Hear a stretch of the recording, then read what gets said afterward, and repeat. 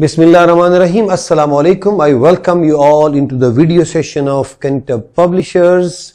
Before we go into the topic, make sure that you are having a book of General Science Class 1 CSS series and along with that it will be far better to have the workbook as well because हमने जो activities Science book में करनी है, उन सब का practice पूरा का पूरा आपके पास वर्कबुक में मौजूद है।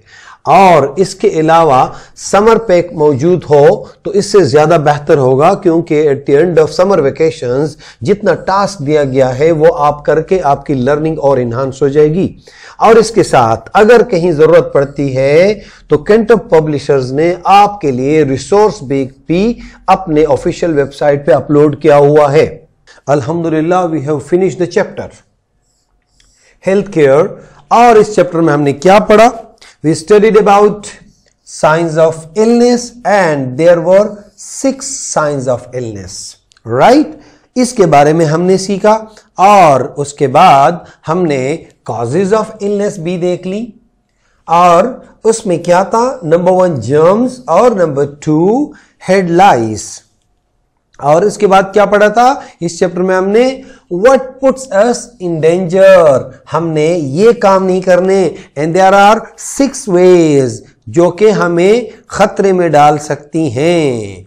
और उसके बाद अनहेल्दी हैबिट्स कौन कौन से हैं? वो भी हमने देख लिए। और उसके बाद मेरे प्यारे बच्चों there are five ways to be healthy to stay healthy किस तरीके से हम हेल्दी रह सकते हैं? ये पाँच हमने हैबिट्स अपनाने हैं।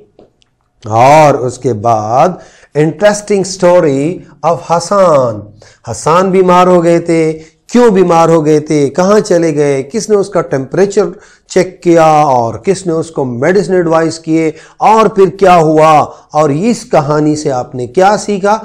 आप लोगों ने इस पे क्वेश्चंस भी सॉल्व कर लिए। Now we are going towards exercises and I am damn sure that all of my students can do this exercise मुझे यकीन है कि आप लोग इसको कर सकते हैं।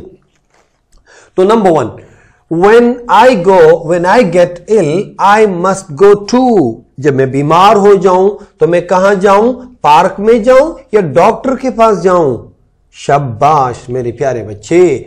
और उसके बाद not wearing mask in smoke can cause जब हम स्मोकी एरिया में जाएँगे और हम मास्क नहीं पहनेंगे तो क्या हो सकता है? हमें कफ हो सकता है कि इससे डायरिया हो सकता है। तो आप लोगों ने इसका जवाब लिखना है, प्यारे बच्चों। उसके बाद which of the following act can make you sick ये दो आपको नज़र आ रहे हैं किस तरीके से, यानी ये इसको देख लें और इसको देख लें, इसके हाथ के ऊपर जो आपको जम नज़र आ रहे हैं, कौन सी चीज़ आपको बीमार कर सकती है?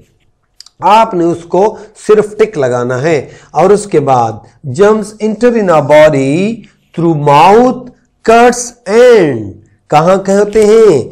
कहाँ कहाँ होते हैं? आँखों से या नोज़ से? आपने करेक्ट वाले ऑप्शन को टिक करना है। और नंबर फाइव क्लीनलीनेस अगर हम करेंगे तो उससे क्या हो जाएगा? हम बीमार हो जाएँगे?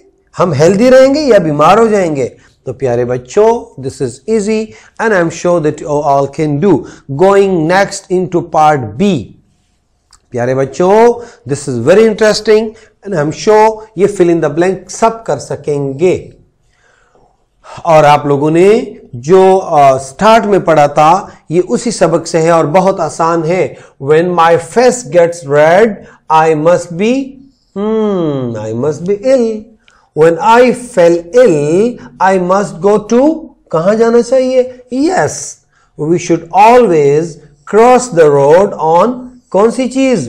Zebra crossing number four we should cover when go outside in severe cold cold में जाएँगे तो किस चीज़ को कवर करना चाहिए? और सिवियर समर में जाएँगे हॉट डेज़ में जाएँगे तो किस बॉडी पार्ट को कवर करना है? ये आप लोगों को पता है। वी शुड कवर आर देखें, ये वाला भी आ गया। वी शुड कवर और what when we go and hot days of summer so these are the five fill in the blanks and I am sure मेरे प्यारे बच्चे इनको सॉल्व कर सकते हैं और आप करेंगे इसको। Answer the following question part C see this one what should we do when we get ill very easy देखें, दो लाइनों में आसानी से आपने लिखना है। जब हम बीमार हो जाए तो हम कहाँ जाए? Who treats us in hospitals और क्लिनिक कौन होते हैं? हेल्थ केयर वाले कौन कौन हैं? उनके नेम्स लिखें जो हमारी ट्रीटमेंट करते हैं हॉस्पिटल में या क्लिनिक में। उसके बाद what does a doctor do doctor क्या करता है मेरे प्यारे बच्चे? वो आपने लिखना है। और अनहेल्दी हैबिट्स आपको मैंने बताए थे, उसमें से वन टू थ्री सिर्फ़ थ्री हैबिट्स आपने यहाँ पे लिखने हैं। How can we protect our self from diseases आपने कम अज कम दो लिखने हैं कि जिससे हम अपने आप को डिज़ीज़ से बचा सकें।